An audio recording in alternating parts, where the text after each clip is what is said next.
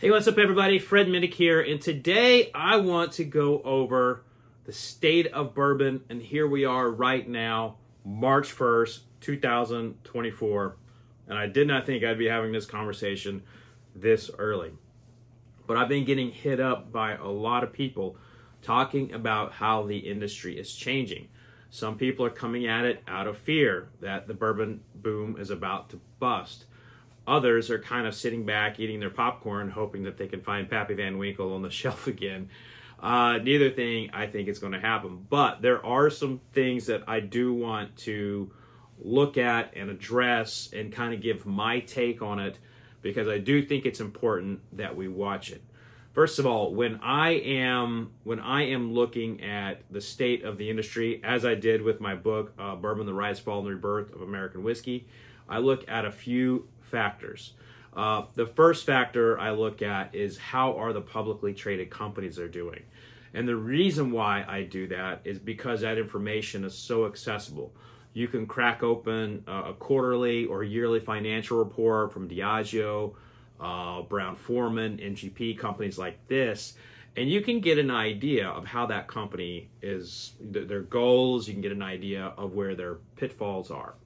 And three major things have happened already this year, and I want to address each one of those. Uh, one, Brown Forman sold one of its cooperages to the Independent Stave Company, which is the largest uh, barrel manufacturer in the world. Brown Forman still has cooperages, they're still making their own barrels. I just never personally felt like that facility uh, fit into their portfolio, and I didn't think they needed another one. Like they they already have a behemoth of, of a cooperage facility and setup. So I, I don't think that was anything to be alarmed about. I think that was one where that cooperage didn't fit in the portfolio. Someone else needed one, and there's a chance to or you know earn a little revenue there. But you know Brown Forman is is going to be fine when it comes to making barrels. So I think that's one that is you know just kind of like cross that off as like it's just like selling something that you don't need anymore. Um, MGP it was announced, uh, I would think a few days ago. Today's March 1st. This was announced, I think, February 22nd, 24th, somewhere around there. And they're down 20% for the year. And that was, you know, that's one where, you know, MGP is a different kind of company. They're not like Brown Forman, where they've got a juggernaut in Jack Daniels. MGP is a company that's supplying whiskey to a lot of, of other brands. And so I think that's an interesting that's an interesting one to look at, but I don't you know, just seeing just seeing their readjustment to it already. So just yesterday they announced um, a hundred million dollar share repurchase program. So, you know, they're already trying to fix that, if you will. But again, this is stocks, so I don't. This is one thing to look at to see how a company's going. Uh, Diageo also had a, uh, a, very soft report recently, and they put the blame mostly on their efforts in Latin America. So if you think about these companies, they're global companies. Like the United States, the domestic trends here, they matter, but they, they, they're not the whole picture. And so Diageo put a lot of efforts into Latin America, and they're saying they didn't pan out for whatever reason. Now, while that information is available, you can go and look at these uh, reports yourself and make your make your own you know decisions or your, make your own opinions. Put them in the comment section, please do. I'll also put the links to each one of those financial uh, things I just talked about in the description. Now, that is publicly traded, you know, so that they are not. Sometimes these companies are doing things based on what Wall Street wants, not necessarily what you want or what a liquor store wants. Now, this is a trend that is not based on any kind of, it's not based on, how should I put this? It's not based on research. It's not based on a company coming out publicly with issues that are happening. It is based on anecdotal evidence that I have been hearing for the last three months. Now, granted, I talked to a lot of people uh, about this uh, retailers, distributors, and suppliers. And there are reports from people that the retailers are telling me that a lot of retailers are telling me that customers are not buying new products. So they're coming in and they're buying their mainstay bourbon that they typically get, whether it's Maker's Mark or Old Forester uh, or Wild Turkey 101. I mean, they're just focusing on what they like. They might they might splurge a little bit, but they are staying within that window and they're not getting uh, a new brand to them that's a blend of straights from two different uh, states or three states, or they're not trying that new craft rye whiskey. And that is indeed a problem that we should flag and look at as like, have we reached that point where consumers are like, hmm, I know what I want. I'm done with that experimentation side. You know, that's something to be very much looking at. And for the newer brands that are out there, that's got to be scary. But at the same time, there's enough tools that are out there that people can build an audience and they can build a, um, as long as their whiskey's good, you know, they can start, they can get that shelf space. Because here's the thing if the whiskey's good, that will overcome everything all the time. A couple other things that I've heard from distributors in every state is going to be different in terms of how they can take payment. But I've had some distributors tell me that they are not getting uh, paid like they normally do by retailers, and the and the retailers are not ordering new product. Uh, so going back to that conversation of like they're not, you know, no one's trying new things. People are trying new things, but they're not. They're they're a little bit more cautious about it, according to distributors I've talked to, and I would say, I'll, let's just say 12 states. So I feel like that's a pretty accurate number of the people I've been talking to, and they're all reporting very similar issues. Uh, but this is the one that's the scariest for me. And there are distillers who are trying to take advantage of new streams of revenue uh, from like whether barrel brokers or doubling down on their tourism efforts because their whiskey sales are soft. In fact, I've had several distillers tell me that they have either stopped distillation or they've slowed back on distillation. So they're not making, they're not getting enough sales to, not enough case sales to warrant uh, dropping, you know, new make into barrels. So that is actually uh, something that I flag as as scary. Now here's the thing. All of that is to say that we are what what I think we are seeing is I think that we are seeing a um, customer base that knows what it wants now. I think I think we've seen a lot of people trying new things. Uh, there's a lot of things that are are sexy and cool, and uh, they've tried them, and now they want to go with what they like. And I don't know, I don't know if that is good for the industry. But I do know that sales are not hurting. The category itself is doing just fine. I want to give you a few numbers from both the Distilled Spirits Council of the United States and the Kentucky Distillers Association. So DISCUS reported uh, just a couple days ago that American spirit exports were $2.2 billion, 63% of which was American whiskey.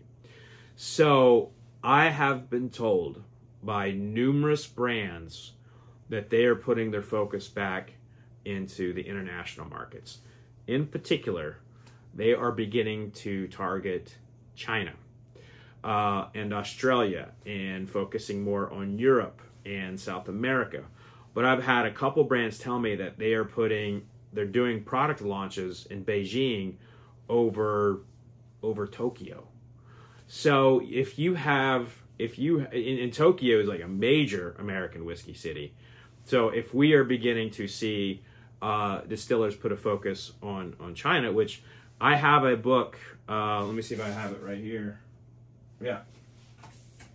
So I mean, they in China they translated my book Bourbon Curious, uh, and so if you're if you're in China, you can find my my book out there and so this is this is a market that everyone is is focusing on uh, the Chinese people and the, and the people in the spirits industry in China are wanting more American whiskey there. So I think you're going to see a big effort from the larger companies on China and other parts of the world. But so exports are strong, so that's always a good indicator for the the industry as a whole, especially the larger companies.